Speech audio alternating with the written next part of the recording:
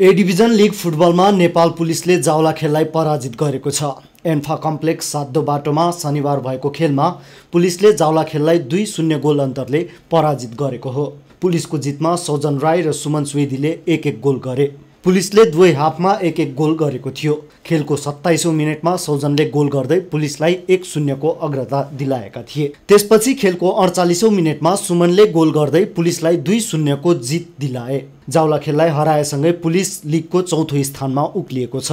उता शनिबार नै भएको दोस्रो खेलमा मनाङ मर्स्याङ्दी र थ्री स्टारले अङ्क बाँडेका छन्। मनाङले थ्री स्टारसँग दुई दुई गोलको बराबरी खेलेको हो। त्रिपुरेश्वर स्थित दशरथ रङशालामा भएको खेलको उन्नाइसौँ मिनटमा थ्री स्टारका लागि भारतीय लाल रम्मावियाले फ्री किक मार्फत गोल गर्दै टिमलाई अग्रता दिलाए।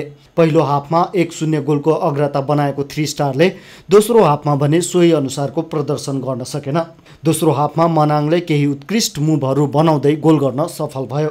उन्चासौँ मिनटमा मनाङका लागि अञ्जन विष्टले पेनाल्टी मार्फत बराबरी गोल फर्काए। रोमाञ्चक खेलको सडसठौँ मिनटमा अञ्जनले व्यक्तिगत दोस्रो गोल गर्दै मनाङलाई दुई एक गोलको अग्रता दिलाए। चौरासी मिनटमा लालले गोल गर्दै खेल दुई दुईको बराबरीमा रोके। बराबरीपछि मनाङले सात खेलमा तेह्र अङ्क बनाएको छ।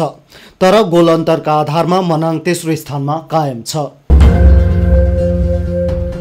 मनमोहन स्मृति एक दिवसीय क्रिकेट प्रतियोगिताको उपाधि त्रिभुवन आर्मीले जितेको छ। फाइनलमा पुलिसलाई पचासी रनले हराउँदै आर्मीले उपाधि जितेको हो।